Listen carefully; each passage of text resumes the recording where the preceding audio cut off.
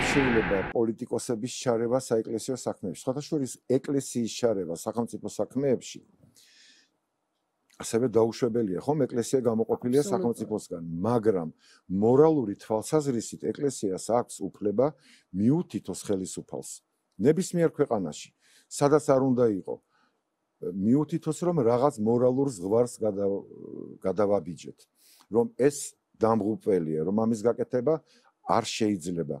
ჩვეულებრივი მორალური პრინციპებიდან გამომდინარე. მაგრამ ჩვენ ნახოთ შუა საუკუნეები ყოველთვის გადაჭაჭული იყო ერთმანეთთან. პოლიტიკა ყოველთვის იყო ეკლესიაში და ეკლესია ყოველთვის იყო იმდროინდელ პოლიტიკაში გასაგებია რატომ.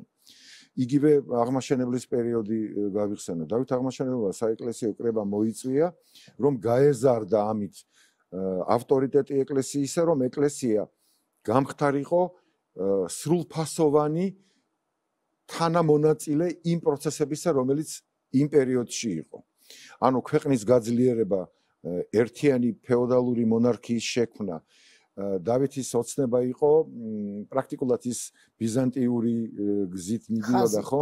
და ბიზანტიაში ეს სოფლიო ქრისტიანული სამყარო და იმპერატორი და პატრიარქი და მათი პრაქტიკულად თანასწორობა სულიერი ცხოვრების მესაჭეობა და საერო სამოქალაქო ცხოვრების მესაჭეობა. ამ ჰარმონიისთვის უნდა რომ მიიღწია მაგრამ ახაც პოლიტიკური ზომები გაატარა მან. ისევე როგორც ეკლესია თავის ძროზე როგორც კი რაღაც ზღვარს გადავიდოდა დიმიტრი თავდადებული მეფე ერთი ცოლი მოიყვანა მეორე მოიყვანა მესამე მოიყვანა სამივე ერთად ყავდა და გაგიჟდა ის კათალიკოსი نيكოლოზი ერთხელ უთხრა მეორედ უთხრა მესამედ უთხრა არ იმოქმედა არაფერმა. გადადგა წავიდა. ნიკოლოზ გადადგა ტახტიდან პატრიარქისა. იმიტომ რომ სხვა მორალური გავლენა ვეღარ ვეღარფერ ვერ მოახერხა.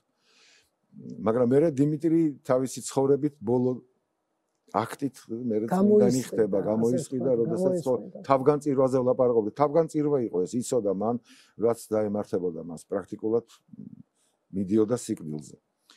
და აქედან გამომდინარე ეკლესია და სახელმწიფო ყოველთვის ერთად მიდიოდნენ. და ეკლესია სადღაც წავიკითხე რომ ეკლესია ასრულებს სახელმწიფოს დავალებებს. თუ თუ ეს დავალება ჭირდება სახელმწიფოს და ქვეყანას განვითარებისთვის ეკლესიამ მხარი უნდა დაუჭიროს ამას. აუცილებლად უნდა დაუჭიროს მხარი მაგრამ თუ აქ რაღაცა ისეთი მართლაც როგორც თქვი უკვე კიდე ერთხელ გავიმეორე რაღაც მორალურზეა ლაპარაკი რაც ეკლესიისთვის მიუღებელია მას აქვს უფლება რომ ამოიღოს ხმა და თქვას ასე ვთქვათ თავისი აზრი გამოხატოს. მაგრამ პოლიტიკოსების ჩარევა საეკლესიო საქმეებში რაც ბოლო დროს ხდება არა მარტო ჩვენთან არამედ რუსეთში უკრაინაში აი იმ პოსაბჭოთა სივრცის ბევრ ქვეყანაში ეს მე მგონი ყოველდღე დაუშვებელია